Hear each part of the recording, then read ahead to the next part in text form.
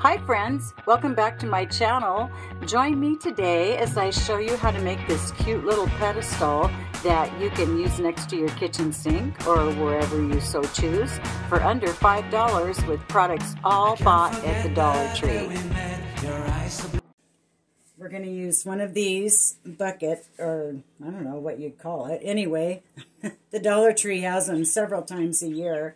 I know they've had them at, on Valentine's Day, I think they have them at Christmas, and they obviously have them at Halloween. Anyway, all we're going to do is we're going to use the lid. We don't need this part, so we'll just set that aside. And then we're going to use a candle holder, also bought at the Dollar Tree.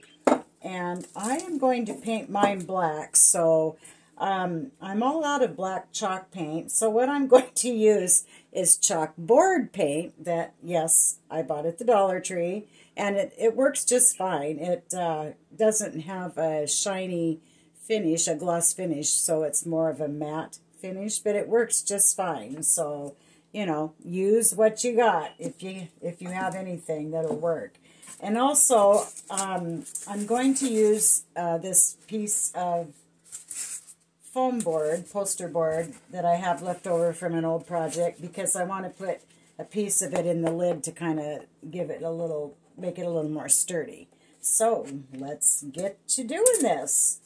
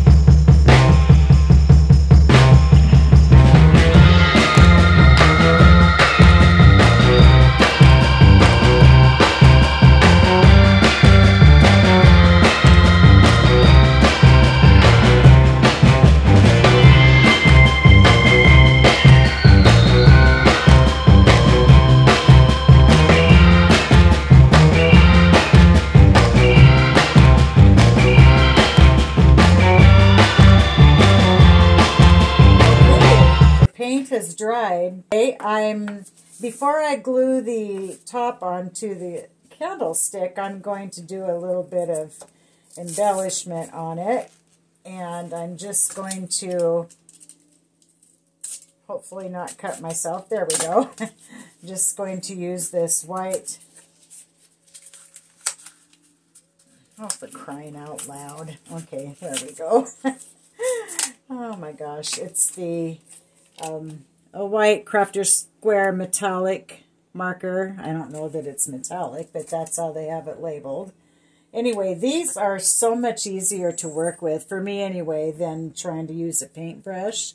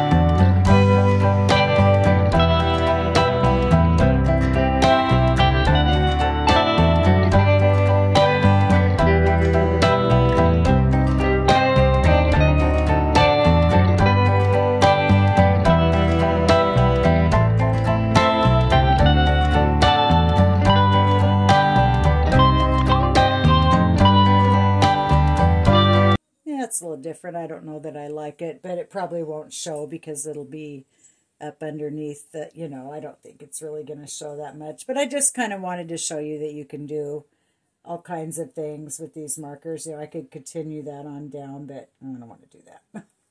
but I would like to give this these lines around here, I would like to give them another coat of the white because it looks like it could use a second coat. Just that goes by pretty quick once you already have the first one on there. And it just really makes a big difference. they also, at the Dollar Tree, have the uh, other colors of the metallic pens. They have a silver one and a gold. And I think they also have a rose gold. Yes, I know they do. Why?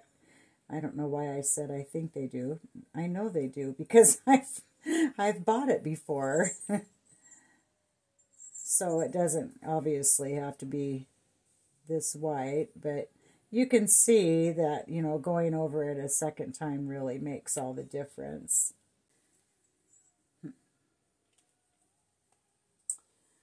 Okay. Now, one thing I did on my, the one that I originally made, I took that marker and I went around all the scallops which I think would look really good because otherwise I think it just kind of blends in too much. I think it gives it more, you know, it makes it stand out more, I think. Makes the scalloped edge stand out more if you do that. And it just kind of, you know, dresses it up a little bit.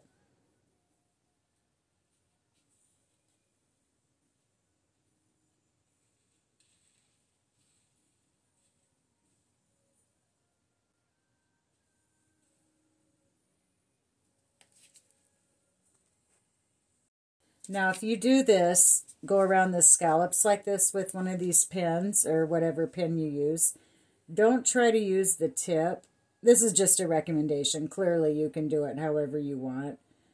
You can do it with the tip and just follow the edge. But for me, how I have better control with that is if I lay this side of the tip if I just lay it flat right against that edge and just follow that edge around. Oops, of course I do it up close so you can see and I do it wrong. Yeah, just, I needed to move it up just a little bit. Then you're up. There's no one right way to do any of this stuff. Whatever works best for you and whatever suits your taste.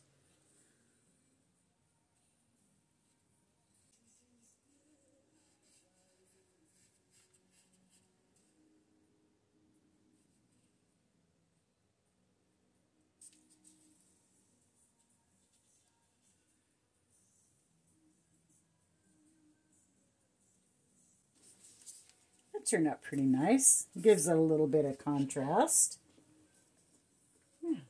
Think that's going to look really cute. And you can do all kinds of embellishments on these, on this. So whatever you decide to do, make it your own. Now to glue, all we have left to do is glue the bottom to the top. And this is my E6000 glue, this stuff. You want to have you want to glue something and have it last forever? This is the stuff. I have to use my needle nose pliers to get the lid off because it gets a little sticky on there.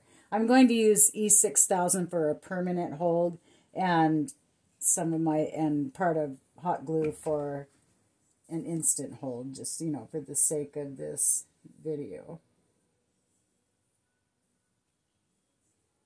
I need a new tube of this stuff.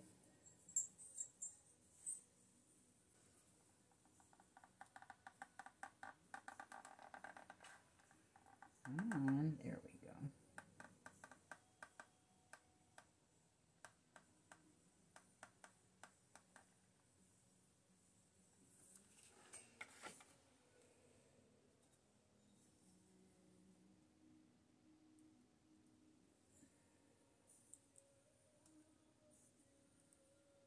In order to center it evenly, if you don't already know this, you probably do, but instead of trying to put the top onto the bottom, put the bottom onto the top this way. Then that way you've got, you can look right down over it and you have a better idea of where it's centered at.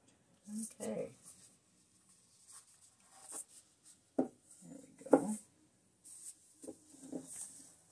Okay, and we have a pedestal tray. Cute!